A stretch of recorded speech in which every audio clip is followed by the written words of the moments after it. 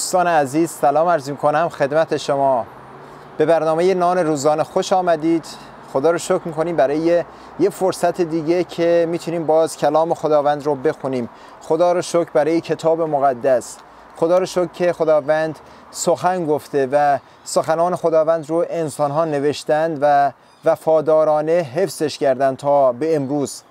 ایزا می‌خوایم امروز از مزامیر باب 61 بخونیم که راجب ثمرات دعا هستش که داوود نبی موقعی که در تنگنامی بود همیشه می‌رفت دعا می‌کرد. به سراغ خداوند می‌رفت با دعا و دعا نفس طبیعی ما ایمانداران عزیزان.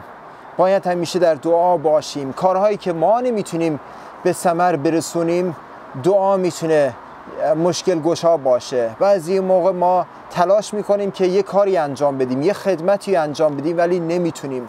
ولی دعا می‌تونه کمک کنه که ما بتونیم اون خدمت ها رو انجام بدیم. می‌خوایم ببینیم دعا چه ثمراتی داره. اولین ثمره ای که دعا داره اینه که دعا ما را توانا می‌کند که از راه دور به دیگران دسترسی داشته باشیم. آیه دو می‌خونیم که داوود نبی به خداوند نزدیک می‌شد از راه دور. آیه یک و دو میگه ای خدا فریاد مرا بشنو و دعای مرا اجابت فرما. از اقصای جهان تو را خواهم خواند. هنگامی که دلم بیهوش می شود مرا به صخره که از من بلندتر از هدایت رما میگه از اقصای جهان تو را خواهم خواند. از نقطه دور می‌تونیم خداوند رو بخونیم. از نقطه دور می‌تونیم به خانواده هامون نزدیک بشیم. جایی که دور هستن. به پدرمون مادرمون که در کشور دیگه ای هستن می‌تونیم نزدیک بشیم. می‌تونیم لمسشون کنیم با دعا. پس دعا عزیزان ما رو به نقاط دور دسترسی میده. و دومین ثمره دعا اینه که دعا ما را توانا می کند که به جای بلندتر هدایت بشیم. آیه دو اینو می‌خونیم. که می‌بینید داوود به زیر کشیده شده بود پست و مغمون شده بود اما در دعا تونست که بلند کرده بشه بر سرفراز بشه. آیه دوش رو می‌خونیم. میگه مرا به صخره ای که از من بلندتر است هدایت نما. زیرا که تو ملجای من بوده ای و برج قوی از روی دشمن. میگه خداوند تو ملجای من بوده ای پناهگاه و برج قوی از روی دشمن تو بوده ای مرا به صخره که از من بلندتر از هدایت نما. خداوند صخره که از ما بلندتر راه های خداوند بالاتر از راه های ماست. پس باید بریم به سراغ خداوند در دعا تا بتونیم به نقطه بالاتر هدایت بشیم تا بتونیم چشمانداز بالاتری داشته باشیم به موقعیت های زندگی خودمون تا دیدگاهمون عوض بشه به زندگی خودمون. سومین ثمره که دعا داره اینه که دعا ما رو توانا می‌کنه که به خدا نزدیک بشیم. آیه چهار میگه در خیمه تو ساکن خواهم بود تا ابدالآباد زیر سایه بالهای تو پناه خواهم برد سیلاه داوود می‌خواست که در خیمه خداوند ساکن بشه هر روز و تا عبدالآباد می‌خواست در زیر سایه بالهای خداوند پناه بگیره که راجب سرافین و کروبین که در قدس الاقداس بود سخن میگه. ولی خب ما با ایمان به عیسی مسیح می‌تونیم به تخت فیض خداوند نزدیک بشیم و رحمتی رو به دست بیاریم که در زمان مشکلات و سختی ها ما را اعانت می‌کنه. عزیزان پس می‌تونیم به خداوند نزدیک بشیم با دعا.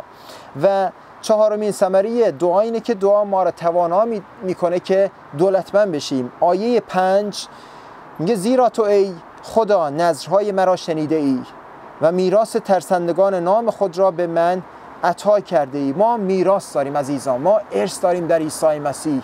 در افسوسیان باب یک می‌خونیم که ما در عیسی مسیح هم میراث هستیم هم میراث عیسی مسیح هستیم. عیسی مسیح گفت می‌روم تا برای شما مکانی حاضر کنم. خداوند ما رو ثروتمند کرده خانه ای در بهشت داره و خیلی چیزای پربرکت توی بهشت که چشم ندیده گوش نشنیده و حتی به خطور انسان خطور نکرده به ذهن انسان خطور نکرده. خداوند برای ترسندگان خودش برای دوستداران خودش مهیا کرده. و پنجمین ثمره دعا اینه که دعا ما را توانا می‌کنه که حیات کامل داشته باشیم. آیه 6 و 7 میگه بر عمر پادشاه روزها خواهی افزود و سالهای او تا نسلها باقی خواهد ماند. به حضور خدا خواهد نشست تا ابدالآباد. رحمت راستی را مهیا کن تا او را محافظت کنند.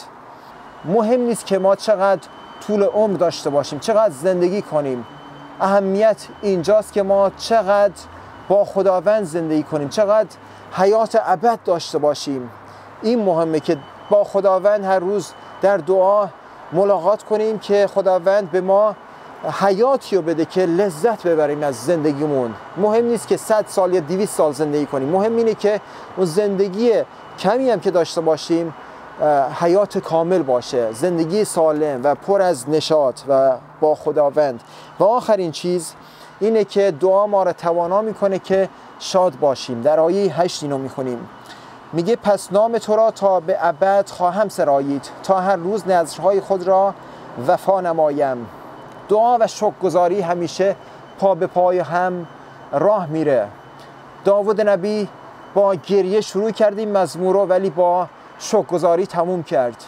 با دعا شروع کردیم مزمور ولی با شادی تمومش کرد. ایزان پس ما هم باید دعا کنیم هر روز. هر روز زمانی رو بذارید برای دعا و ارزیابی کنید دعاتون رو. ببینید چقدر مسمر سمر بوده دعاتون. ببینید آیا اون ثمراتی که در زندگی داوود داشته در زندگی شما هم به وجود آورده؟ اگه نه باید بیشتر دعا کنید تا بتونید اون ثمرات رو به دست بیارید. و خداوند وعده داده که اگر دعا کنیم می‌تونیم به خدا نزدیک بشیم می‌تونیم شاد باشیم توی زندگی می‌تونیم حیات کامل و زندگی سالم داشته باشیم.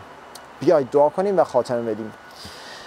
خداوند تو رو شکر می‌کنیم برای دعا و ثمرات دعا که خداوند ما را به تو نزدیک می‌کنه. توانا می‌کنه که از راه دور به تو نزدیک بشیم. به خانواده خودمون دسترسی داشته باشیم از نقطه دور اونا رو لمس کنیم.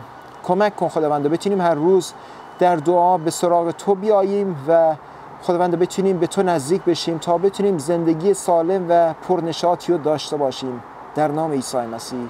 آمین.